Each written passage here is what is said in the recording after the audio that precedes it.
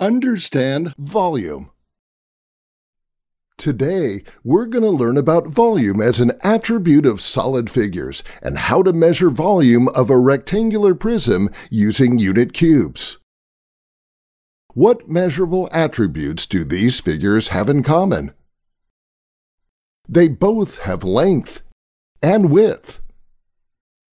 But wait, is there another measurable attribute?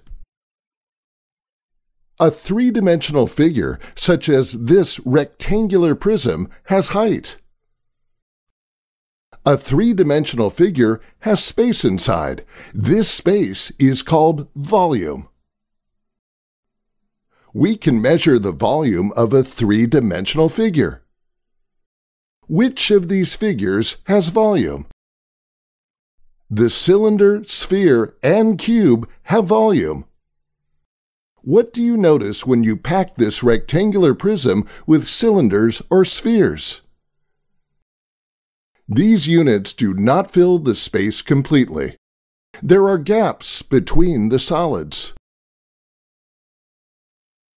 What happens when you pack the rectangular prism with unit cubes? The unit cubes fill the space completely. There are no gaps between them.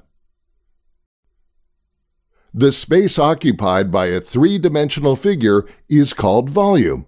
To find volume, you can pack rectangular prisms using unit cubes with no gaps or overlaps.